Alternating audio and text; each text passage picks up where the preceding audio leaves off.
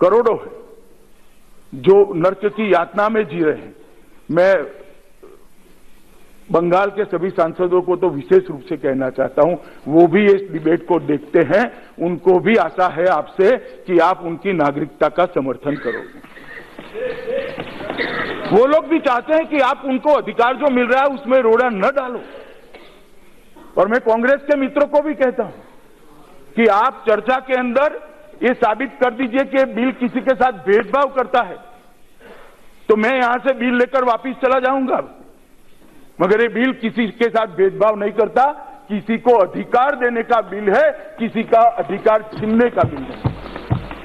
किसी का अधिकार नहीं छीना जाता और ये बिल के अंदर हमने जो व्यवस्था की है, ये व्यवस्था मैं थोड़ा फिर से एक बार बताना चाहता हूँ। ये विधेयक हमारे तीन पड़ोसी देश, जिनसे हमारी जमीनी सीमा छूती है, पाकिस्तान, बांग्लादेश और अफ़गानिस्तान से आए हुए हिंदू, सिख, जैन, पारसी, बौद्ध और ईसाई समुदाय के ऐसे प्रवासियों के लिए भारतीय नागरिकता का रास्ता खोलता है, जो धर्म के आधार पर अपने देश में प्रताड़ित हुए हैं। सिटीजनशिप अमेंडमेंट बिल वापस लो। वापस लो। वापस लो। वापस लो। सिटीजनशिप अमेंडमेंट बिल वापस लो। वापस लो। वापस लो। जमहूरी हक बहाल करो। बहाल करो। जमहूरी हक बहाल करो। बहाल करो। बहाल करो। गिरफ़्तार किए जमहूरी कारकुन रिहा करो। रिहा करो। रिहा करो। गिरफ़्तार किए जमहूरी कारकुन रिहा करो।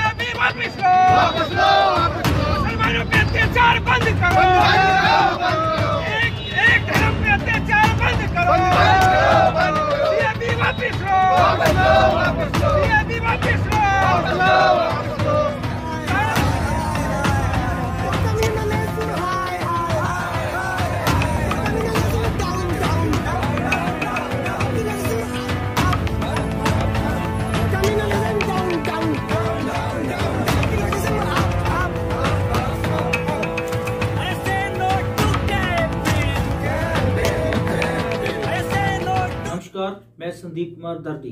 एक नया एपिसोड शुरू करने जा रहे हैं। चुप्पी तोड़ो, नहीं तो देश टूट जाएगा। इसके पहले हिस्से में हमारे साथ बात कर रहे हैं आज शमशूल इस्लाम जी। तो इसका, इस इस प्रोग्राम का पहले हिस्से का हमने नाम रखा है एक और संताली। और मैं आपको एक मशवरा देता हूँ कि आपके पास जितने पैसे हैं इकट्ठे कीजिए, बैंकों में हैं तो निकाल लीजिए। इस मंदी के दौर में आप जितने पैसे इकट्ठे कर सकते हो, करिए और अपने पास रखिए। मार्केट जाइए और खाने पीने का जितना सामान हो सके खरीद लीजिए। ये मैं इसलिए कह रहा हूँ कि हमारे देश के ऊपर एक आफत आने वाली है। सर्दियों के दिनों में अक्सर जहाँ बहुत बड़े पहाड़ हैं, बर्फ़ पड़ती है, वहाँ के लोग आग का आग जलाने के लिए कुछ सामान इकट्ठा कर लेते हैं और खाने के लिए, क्योंकि सब रास्ते बंद हो जाते हैं। तो आप ऐसे मत सोचिए कि पूरे भारत के अंदर बर्फ़ पड़ने वाली है। मैं जिस आफत की बात कर रहा हूँ, वो आफत कोई कुदरती नहीं, हमारी सरकारें हमारे ऊपर थोप रही हैं। हमारे ऊपर एक ऐसा बिल लागू करना चाहती है जो गैर संवैधानिक और गैर मानवीय है। सीएपी सिटीजन अमेंडमेंट बिल और इस बिल के विरोध विरोध में पूरा असम लड़ रहा है जुलस रहा है। वहाँ कर्फ्यू लगा दिया गया है और वहाँ की इंटरनेट व्यवस्था बंद कर दी गई है।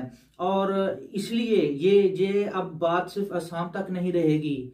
ये पूरे भारत में फैलेगी, इसी के साथ ही वो एनआरसी लागू करेंगे, साथ ही में सीएबी ये सिटीजन अमेंडमेंट बिल तो इसलिए मैं कह रहा हूँ कि मार्केट जाइए, खाने पीने का सामान खरीद लीजिए। अगर आपके पास पैसे कम हैं, दालें महँगी हैं, प्याज नहीं खरीद सकते तो कनक, चावल और अचार खरीद लेना, क्योंकि देश की आग से लड़ने के लिए पेट की आग से भी लड़ना पड़ेगा।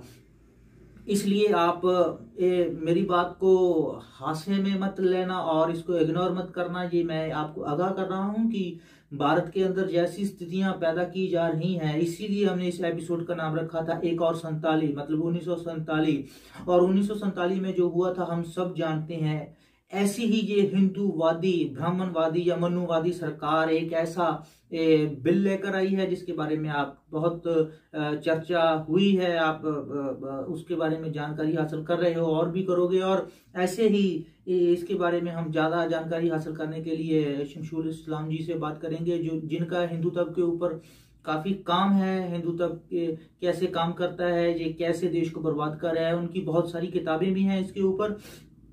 तो जाते जाते उनसे बात करने से पहले मैं आपसे फिर कहना चाहता हूँ कि अब आप धर्मों को छोड़िए।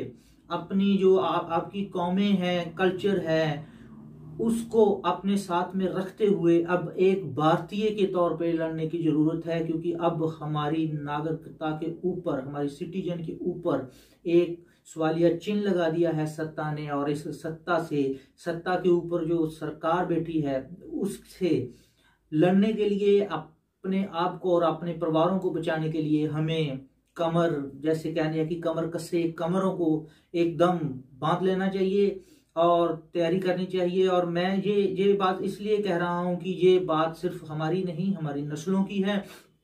अब बात हमारे घर की, हमारे गाँव की नहीं रही, बात हमारे देश की है, हमारे भाईचारे की है, हमारी कल्चर की है। और अगर इन सरकारों के वक्त मत बनो, इनकी बातों में मत आओ। इनकी जो भी चाल है, उसको समझो। इनके इनके मंसूबों को कामयाब करने के लिए अपने भाईचारे को मत तोड़िए। जब तक हमारा भाईचारा ज़िंदा है, तब तक हमारा देश ज़िंदा है, तब, जब तक हमारा देश ज़िंदा है, हम ज़िंदा हैं।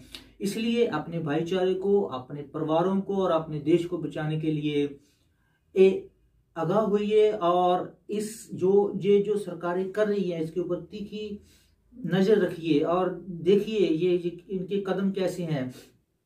इनके पास हमारे देश की अर्थव्यवस्था पूरी डूब चुकी है नौकरियाँ नहीं है हर फ्रंट पर ये सरकार फेल हो रही है तो अपने फेलियर को अपनी असफलता को छुपाने के लिए ऐसे काम कर रही है जिससे हमें हम लाइनों में लग जाएँ। जैसे नोटबंदी की नोटबंदी जब हुई थी तब हम लाइनों में लगे थे। एकदम सीधे ए, दो दो चार चार हज़ार रुपया लेने के लिए अपने ही पैसों को लेने के लिए। अब हमारे देश में हमारी नागरिकता के ऊपर सवाल किया जा रहा है। हमारे ही कल्चर को खत्म करने की बात की जा रही है। हम हर हर जगह में भगवाकरण हो रहा है। हर जगह में आरएसएस अपने पैर फैला रही है। उनके पैरों को रोकने के लिए और उनकी आँखों की दिशा बदलने के लिए हमें सबको एक होकर लड़ने की ज़रूरत है और अपने भाईचारे को बचाने की ज़रूरत है। अब हमारे साथ फ़ोन कॉल पर बात करेंगे शमशूल इस्लाम। मैं कराया थी जी। 2017 में सैतालीस करा रहे हैं ये हिंदुत्ववादी। जी। जी। तो आ, मैं आ, ये जानना चाहता था कि आपसे आपका हिंदुत्व के ऊपर बहुत काम है। जी। तो आप ये बताइए कि आपकी जितनी उम्र हो गई है आपने अपनी उम्र में ऐसे हालात कभी देश के देखे हैं? नहीं देखे नहीं ना कभी सोचा था। बीच बीच बीच बीच में होते थे। जी। जैसे देश को धर्म के नाम पर बांटने का आप तो उन्नीस में सिखों को देश के विरोध बता देना उन सब सिखों को ये बताना कि ये दुश्मन है ये हिंदुओं के दुश्मन है और उसका नतीजा उसका नतीजा है जेड़े जेड़े सिख सिपाही वो भारत सरकार की सेना में सी और वो सरकार की ड्यूटी करके अमृतसर तो आ रहे सी उन्होंने भी जला के मारे जी। फिर उसके बाद बानवे वेखे उसने। हाँ जी। है हम्म। फिर उसके बाद हमने दो हज़ार दो वेख्या जी। वो देखा फिर उसके बाद हमने ईसाइयों का कत्लेआम देखा उड़ीसा में। जी। तो ये सब देखते थे लेकिन ऐसा लगता था कि चलो ये कोई बुरा सपना है। हम्म। ये तो राजे राज्य तो इसके खिलाफ है। जी। पर ये खास तौर पे मोदी की सरकार जो 2019 के बाद आई है जी। तो इनको ऐसा लगा है कि इनको लाइसेंस मिल गया है भारत को हिंदू राष्ट्र बनाने का जिसमें मनुस्मृति लागू होगी। जी। है ना? हम्म। और हिंदू राष्ट्र जो है और शर्म की गल है कि इन्होंने शपथ ली है जेडे प्रधानमंत्री के होम मिनिस्टर बने हुए ना। जी जी। इन्होंने शपथ ली है कि भारत का जरा संविधान है सेकुलर डेमोक्रेटिक इगैलिटेरियन जस्टिस देने वाला धर्म जाति इलाका लिंग के नाम पे कोई भेदभाव नहीं करने करेंगे हम अपने देश के संविधान की रक्षा करेंगे वो शपथ लेने के बाद तोड़ने का काम कर रहे हैं। जी। मतलब इसमें सबसे खतरनाक बात यह है। इन ये जीते हैं ये जीते हैं भारत के संविधान को लागू करने के लिए सरकार बनाएँगे। और ये जीतने के बाद इनको सोच रहे हैं कि इनको आरएसएस का जो देश तोड़ने का एजेंडा है ये उसको पूरा करेंगे। हम्म। है ना। तो ये वो कर रहे हैं। और और दूसरी एक बहुत शर्मनाक बात यह है कि बहुत सारे देश को खतरा होता है ना विदेश से कोई आएगा दुश्मन आएगा विदेश जी जी हाँ हाँ विदेशियों से खतरा होता है हाँ। वो वो तोड़ेंगे देश को हमला करेंगे हमारे अंदर कुछ प्रॉब्लम क्रिएट कर कराएँगे। हाँ। ये तो ये अंदर से करा रहे हैं ये तो सरकार में बैठकर देश को तोड़ने का काम करा रहे हैं। अब देखिए ये जो कल इन्होंने कानून पास कराया नागरिकता नागरिकता का 1955 का कानून जो बदला हम्म हम्म। अब उसके अंदर इन्होंने इन्होंने ये सोचा कि इससे हिंदुओं को हम संतुष्ट कर देंगे। जी। लेकिन आप देखिए कि असम के हिंदू असम के रहने वाले हिंदू जो वो कैसे सड़कों पर आकर सड़कों पर आकर विरोध प्रकट कर रहे हैं कर्फ्यू लगाना पड़ रहा है इनको। हम्म तो ये जो ये जो गंगा जमुना के बीच के इलाके के जो ये ब्राह्मणवाद है ना जी। आरएसएस जिसको जिसको झंडा लेके घूमती है हम्म। और पेशवा पेशवा राज का जो हिंदू राष्ट्र की कल्पना है जी। वो वो इसको लागू करेंगे तो देश टूटेगा ही टूटेगा। तो शमशूल जी ये मैं एक बात आपसे समझना चाहता हूँ कि जैसे अब ये इनका मोटा मोटा जो देखा जाए तो इनका टारगेट है जो मुस्लिम कम्युनिटी है। हाँ। तो क्या हिंदू कम्युनिटी के अंदर जो विभाजन है जो उसके अंदर शेड्यूल कास्ट है क्या वो हाँ। भी इसके चपेटे में आएँगे? नहीं मैं मैं आपसे आपसे थोड़ा- थोड़ा भिन्न राय रखता हूँ। जी। ये जो ये जो सारे कानून और ये सब कर रहे हैं ना जिसमें ये, ये है कि वो निशाना मुसलमानों को बना रहे हैं ना। जी। लेकिन आप ये समझ लीजिए कर क्यों रहे हैं? यही मैं आपसे समझना चाहता हूँ इसलिए मैंने पूछा। ये ये इसलिए कर रहे हैं क्योंकि इनको इस देश के 80 परसेंट जो हिंदू हैं उनके रोटी रोजी का सवाल महँगाई दूर करने का सवाल हम्म। उनके लिए स्कूल कॉलेज खोलने का सवाल उनके लिए कोई स्वास्थ्य के उनको सेवाएँ मिले उसका सवाल उनकी ज़िंदगी सुरक्षित रहे उनको सड़क पर लूटा ना जाए हम्म। बच्चियों को रेप ना किया जाए है ना? सब में विफल हो गए पूरे तौर पर विफल हो गए। जी। यानी आप ये समझिए कि कैसे जहाँ पर मोदी का और अमित का जो सबसे प्यारा चीफ मिनिस्टर है वो योगी। जी। योगी जो है वो सारी दुनिया का यूपी जो है रेप कैपिटल बन गया है। हम्म। हाँ? हम्म। यानी कैसे बच्चियों को मारा जा रहा है रेप किया जा रहा है।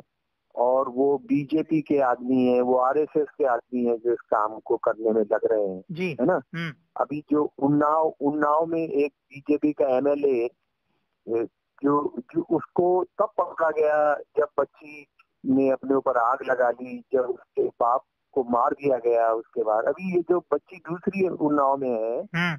इसके इसके जो ऊँची जाति के इसके जो बलात्कारी थे उनको एक को छोड़ दिया था उनको छोड़ दिया गया उसने फिर मिलकर और बदकिस्मती से उसको कोर्ट में भी उसको बेल मिल गई थी। जी। है ना? हम्म यहाँ यहाँ हमारे जो मजदूर हैं गुड़गावा में हम्म वो गुड़गावा में मजदूर वो पंद्रह पंद्रह साल पुराना मुकदमा कोई हुआ कि को- इन्होंने यहाँ पर मारुति के अंदर कोई हिंसा की थी उनको जमानत नहीं मिली है। जी। उनको जमानत नहीं मिली है। यहाँ जो। है ये बलात्कारी जो जमानत पर घूम रहे हैं हम्म है ना? हम्म तो इस सब का क्या जवाब देंगे वो? इस सब का क्या जवाब देंगे अस्सी परसेंट को? ये जवाब देंगे कि नहीं नहीं अरे ये तो तुम्हारा रोज़गार बेरोजगारी बलात्कार ये सब तो छोटी छोटी समस्या है। क्या बात कर रहे हैं यार? असली खतरा तो मुसलमान है। जी। है ना? असली खतरा मुसलमान है। समझ क्या?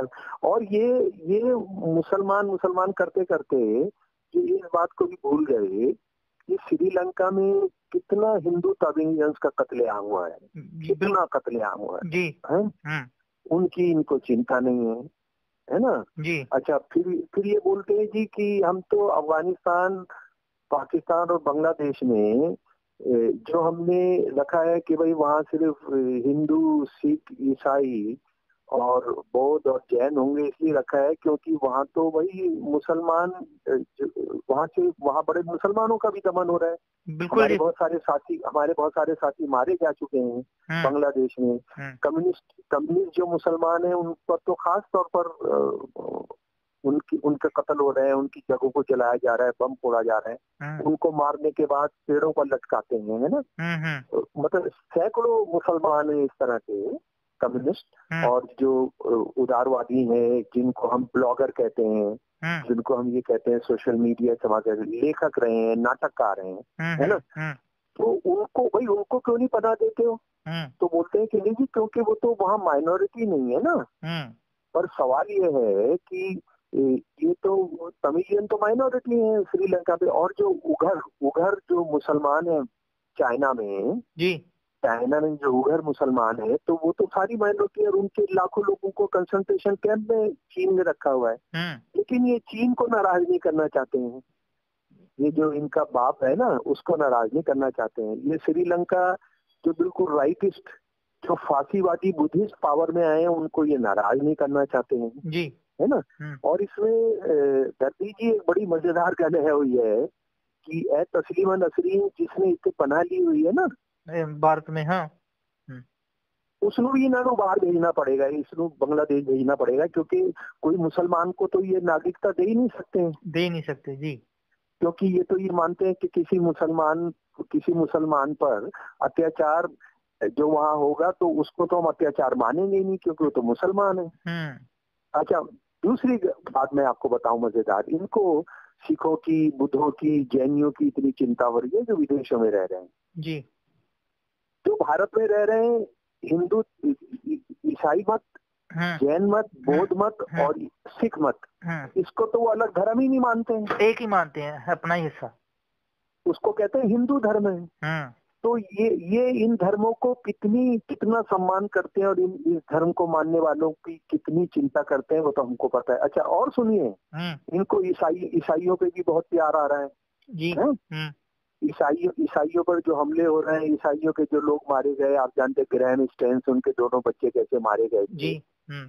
वो सारे के सारे खुला छूट गए हैं जो जो आरएसएस के लोगों ने मारा था। हम्म हम्म है ना? और उसके बाद अभी अभी जब ये बिल पास हो रहा है ना विदेशों में पाकिस्तान अफ़गानिस्तान और बांग्लादेश में जो ईसाइयों के साथ जुल्म हो रहा है उसको हम यहाँ नागरिकता देंगे। जी। अभी आज़ादी के बाद से जो एंग्लो इंडियन है ना एंग्लो इंडियन ईसाई होने हैं जी जी। उनको उनको पार्लियामेंट और असेंबलीज में उनके कुछ कुछ सीट्स मिल रही थी उन्होंने। दिया है सारी असेंबली तो है पता थी कि भाई इनकी इतनी इतनी जनता किसी कॉन्स्टिट्यूंसी में नहीं है कि इनका कोई मेंबर जीत सकता है। जी। तो संविधान सभा ये चाहती थी कि हमारी हमारी जो संसद है हमारी जो विधान सभाएँ हैं सब में सब लोगों का रिप्रेजेंटेशन हो। हम्म। तो उन्होंने उन ईसाइयों को भी जैसे लोकसभा में दो सीट होती थी राज्यसभा में तीन सीट होती थी। असेंबलियों में महाराष्ट्र असेंबली में उनको कुछ सीट मिलती थी। उत्तराखंड असेंबली में कुछ सीट मिलती थी है ना? जी। वो ये सब खत्म करने जा रहे हैं। ए, आपको क्या लगता है कि ये पचास साल की तैयारी कर रहे हैं? यानी ये पचास साल में देश को खत्म कर देंगे ये दो चार साल में कर देंगे अगर इनका राज चलता रहा। तो जैसे असम में विरोध हो रहा है अब दूसरी जगहों में बंगाल में भी होगा। तो इस जो अगर ये विरोध पूरा उग्र होता है पूरे देश में फैलता है तो क्या इसका असर होगा इन पर?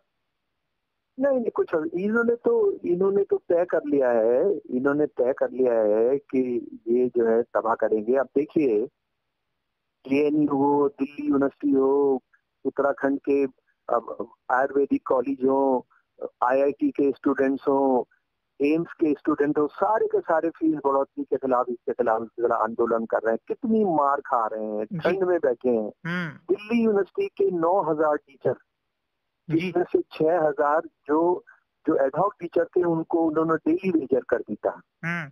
है? हम्म। इस पर कोई असर नहीं हो रहा है इनका कोई असर नहीं हो रहा है। बात यह है कि ये पूरा देश को सिविल वॉर की तरफ़ ले जा रहे हैं।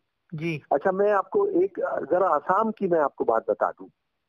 भाई आसाम में तो आसाम में तो जो आज सड़क पर निकले हुए हैं जिनके खिलाफ जिनके खिलाफ ये सब कुछ हो रहा है जिनके खिलाफ कर्फ्यू लगाया जा रहा है ये तो सारे हिंदू हैं। जी हाँ और हिंदू भी इनमें इनमें नब्बे परसेंट ब्राह्मण है। जी। असामिया असामिया जो हिंदू है वो तो ज़्यादा ब्राह्मण है। जी। है ना? हम्म। भाई क्यों विरोध कर रहे हैं? वो विरोध इसलिए कर रहे हैं कि इन्होंने सोचा था कि एनसीआर जो बनाया था उसमें सारे मुसलमान पकड़े जाएँगे। हम्म। तो मुसलमान तो उसमें से वन वन फिफ्टी रह गए। जी। उन्नीस लाख में से तीन से चार लाख मुसलमान हैं। हम्म। है ना? हम्म। पंद्रह लाख हिंदू हैं। अब ये ये ये कर रहे हैं कि पंद्रह लाख हिंदुओं को नागरिकता देंगे। जी। तो अगर ये नागरिकता देनी थी तो असम समझौते का क्या होगा? असम असम समझौता जो था वो तो कोई मुसलमानों के खिलाफ तो नहीं थी। वो तो ये था कि जो भी नॉन असमिया यहाँ पर आ गया है हम्म। उसको उसको दिसंबर इकहत्तर के बाद वो उसको असम का नागरिक नहीं माना जाएगा। हम्म। तो आप उसका भी उल्लंघन कर रहे हैं। हम्म।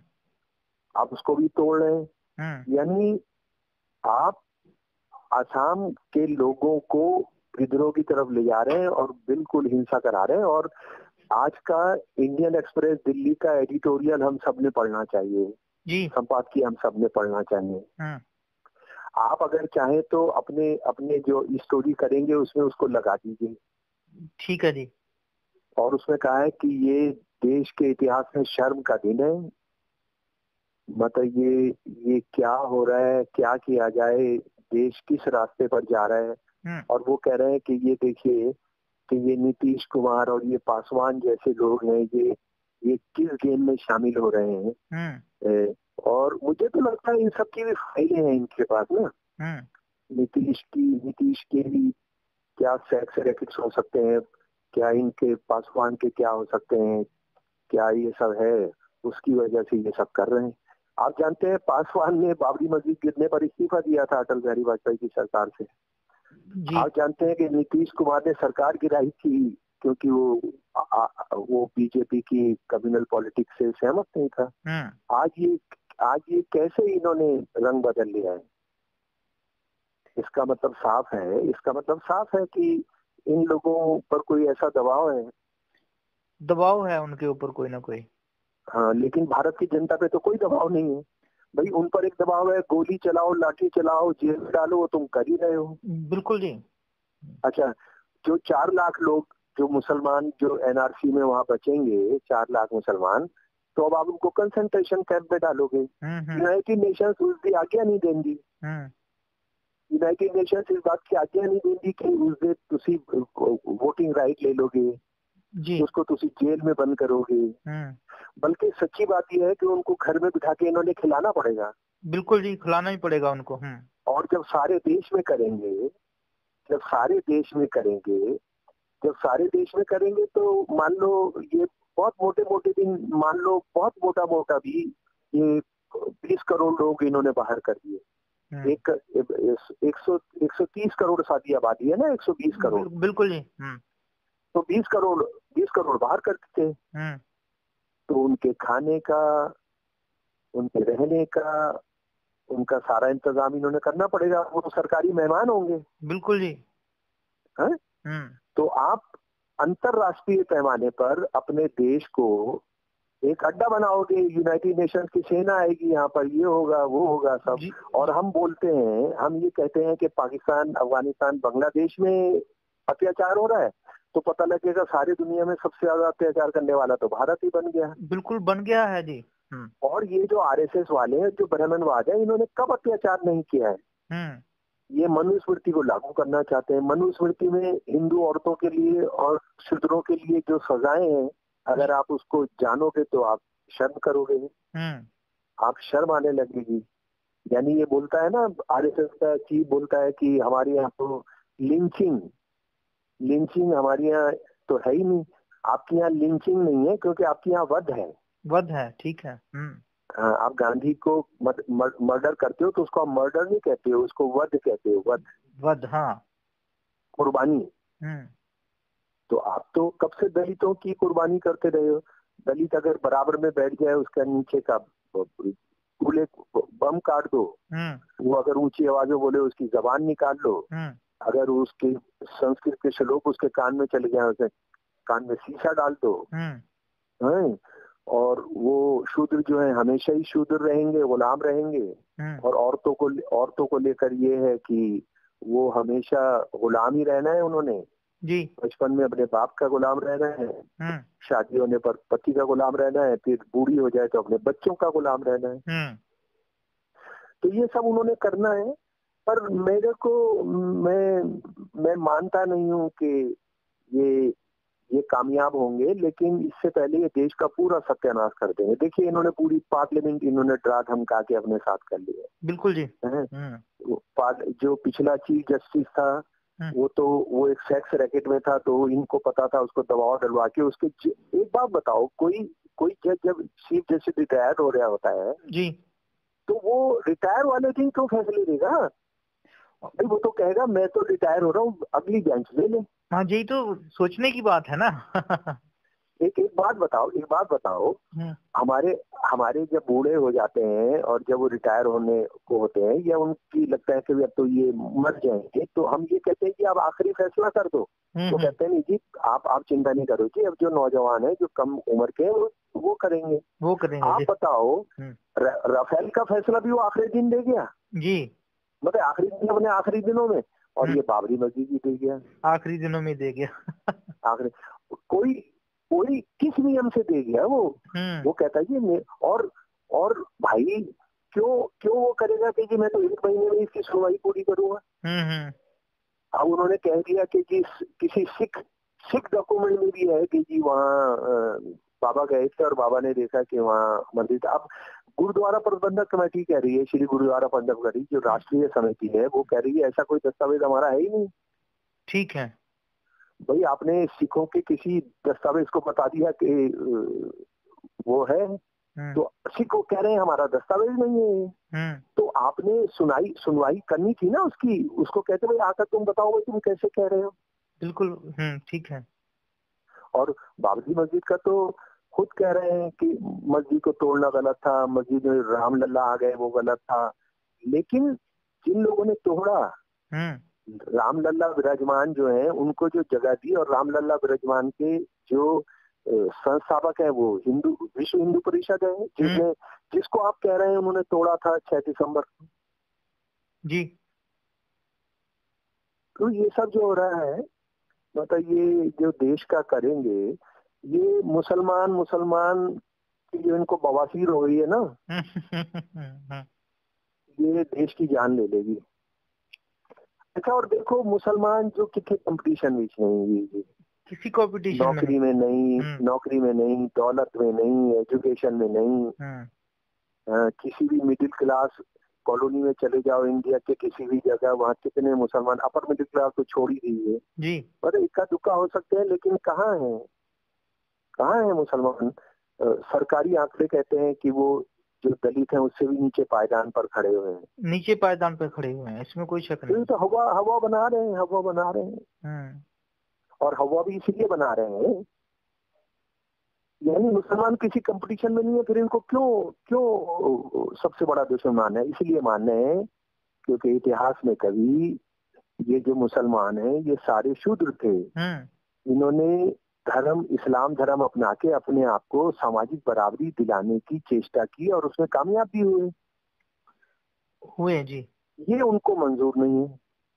ये उसका बदला लेना चाहते हैं। तो तो और अपने अपने जो आज के दलित हैं उनको भी एक चेतावनी दे रहे हैं कि अगर तुम ऐसा करोगे तो हम देखो जो मुसलमानों का हल कर रहे हैं वही तुम्हारा करेंगे। तो शमशोर जी अगर ये ये जो मुसलमान है यहाँ की कम्युनिटी अगर वो बाहर होती है तो बाजी वे अगर ये ऐसी मुहिम चलाते हैं कि आप हम्म। घर वापसी करो घर वापसी करो जैसे पहले की थी तो क्या कोई ऐसी हम्म, नहीं घर वापसी तो अलग चीज़ थी ना। घर वापसी तो वो झूठ ये बोलते थे कि जैसे ये सारे लोग पहले हिंदू थे। हम्म हम्म।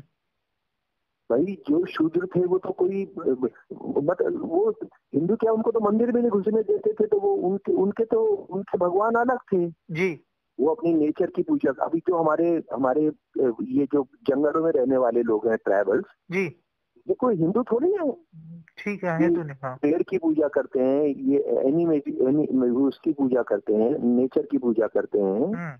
ना? हम्म। ये अपने बुज़ुर्गों की पूजा करते हैं जो मर जाते हैं। हम्म है ना? तो ये हिंदू थोड़ी है लेकिन उनको ये बोलते हैं कि हम इनको घर वापसी करा रहे हैं। जैसे कि सारा ये हिंदू थे। शब्द हिंदू जेड़ा चौदहवीं पंद्रहवीं शताब्दी भी क्या है? वो बोले कि हिंदू हम लाखों साल से रहते हैं। यहाँ बिल्कुल बिल्कुल कहते हैं कि दो अरब साल पहले का कैलेंडर है हमारे पास। हाँ जी हाँ। हम्म। तो शमशूल जी आपका बहुत बहुत धन्यवाद। आपने अपना कीमती समय दिया। नहीं नहीं क्या